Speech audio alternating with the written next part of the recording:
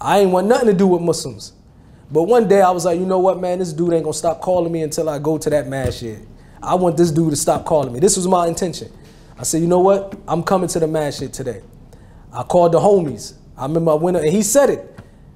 I went up there about 30 deep. 30 deep, had my gun on me because I ain't know what, I, I ain't trust none of them joker. I thought, man, he was crazy. Said, I'm going up there with my gun. And it was in South Central LA. I remember pulling up my Lexus and I sat, I remember people coming in on bikes, people walking in the masjid.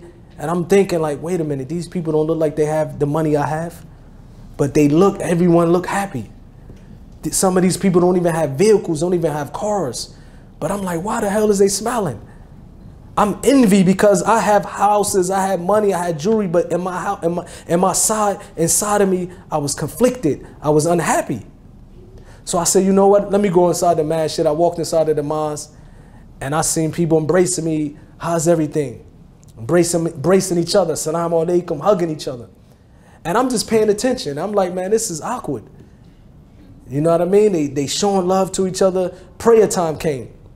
And the brother was like, you should pray with us. You know what I mean? I was like, I don't know how to pray, man. He like, no, he was forceful, like pushing me. Like, just pray with us, whatever, you know what I mean? You see us do, you do. But when you put your face on the floor, you praying to God, whatever you want, ask God. So I went on, I went ahead and I joined them in prayer.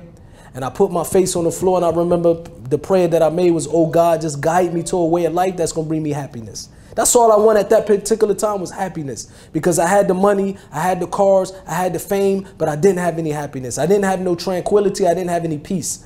So I made that prayer, God, just guide me to a way of life that's going to bring me happiness.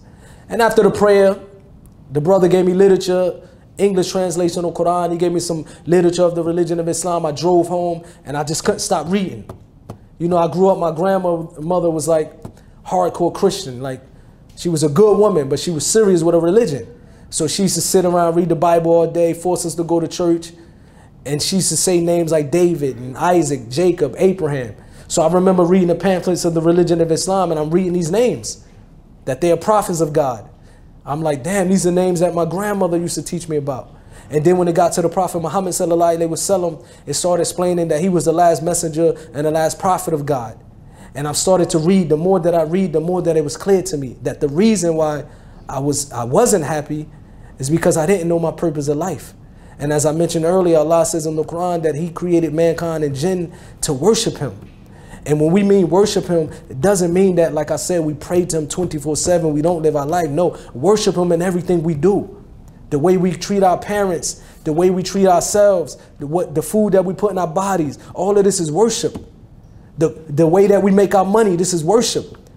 You understand the way everything the Muslim do in our life is going to be for us or against us. And I started realizing the way that I was living my life, the reason why I was happy because I was fur- I was a, the furthest away from this. And I called the brother. I said, you know what? I need this in my life. I need to accept this religion of Islam because it was clear to me. It was clear to me that I wasn't praying and, and worshiping my Creator. So this is why I wasn't happy. So after accepting the religion of Islam, I started to realize it was like a veil was lifted over my eyes.